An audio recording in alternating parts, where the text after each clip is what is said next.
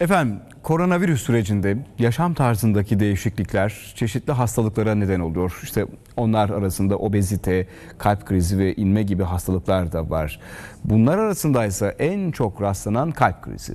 Salgın döneminde kalp krizinden ölüm riskinin önceki dönemlere göre arttığı belirtiliyor. Peki bu hastalıkların oluşmaması için nelere dikkat edeceğiz? Fatma Demir Turgut uzman konuğuna soracak.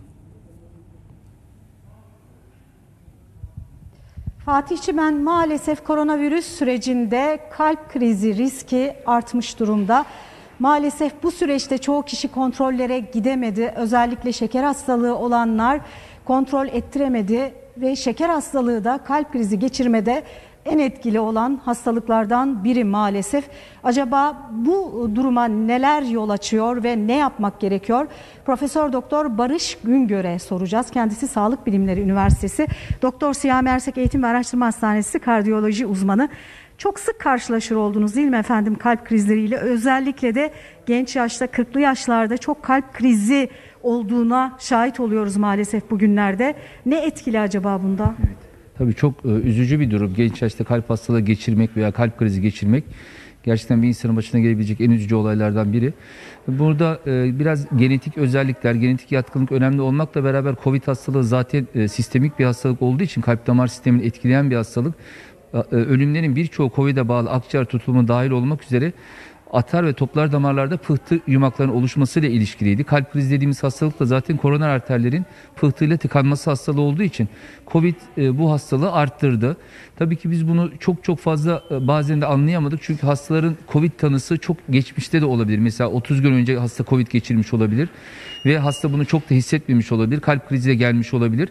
Bununla ilişkili çok güzel bir e, çalışma yakın zamanda yayınlandı. Onunla ilişkili bazı bilgileri sizinle paylaşmak isterim. Genellikle ağır geçiren, hastanede yatan veya yoğun bakıma girip çıkan hastalarda 30 günden sonra dahi hasta çok iyi hissetse bile kendini kardiyovasküler sistemle alakalı komplikasyon e, sıklığı çok çok fazla. Kardiyovasküler sistem dedi, dediğimiz zaman ne anlaşılıyor? Damarın geçtiği herhangi bir yer. Mesela bacak damarımızdaki toplar damarlarda pıhtı oluşması veyahut da akciğer damarlarımızda yine pıhtı oluşması gibi bunların her biri çok ciddi hastalıklar e, felç oluşumu ki bu da beyindeki damarların pıhtılaşması demek ve kalp krizi. Bir de kardiyovasküler sistemle ilişkili diğer en önemli hastalıklardan biri de kalbin kas fonksiyonu yani kasılma fonksiyonu etkileyen miyokardit dediğimiz durumlar. Bunlar e, COVID hastalarında sıklığı çok çok fazla. E, yaşla çok ilişkili değil. Açıkçası diğer kardiyovasküler risk faktörleri çok ilişkili olmamasına rağmen COVID geçiren hastalarda kendi yaş gruplarıyla karşılaştırıldığında bu hastalıklar e, uzun dönemde bir seneye kadar takipte çok daha sık görüldüğü saptanmış.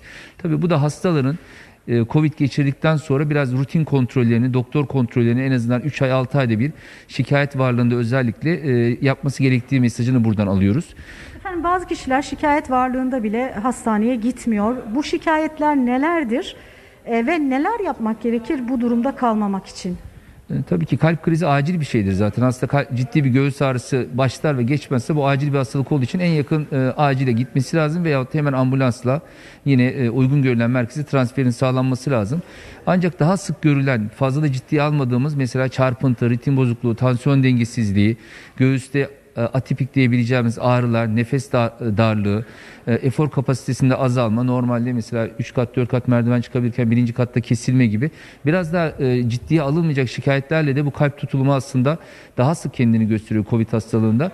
Böyle bir şikayet varsa yani hasta genel olarak kendine yakıştıramadığı bir durumu görüyorsa kalbiyle alakalı veya vücuduyla alakalı genel kan tahlili, kalple ilişkili görüntüleme yöntemleri dediğimiz ekokardiyografi, elektrokardiyografi bunları yaptırıp bir öncelikle kalp check-up'ıyla başlayarak bir e, hekim muayenesi gerekiyor. Çok teşekkür ediyoruz Profesör Doktor Barış Güngör. Kendisi kardiyoloji uzmanı. Evet maalesef koronavirüs sürecinde kalp krizleri arttı. Covid'in kendisi de maalesef pıhtılaşmaya neden olduğu için kalp krizlerini artırabiliyor ve bu genç yaşlarda da maalesef ortaya çıkabiliyor.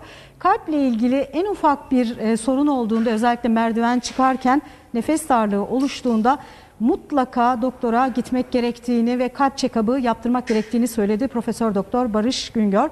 Bu bilgilerle sözü tekrar Ankara'ya Fatih Çimen'e bırakıyoruz.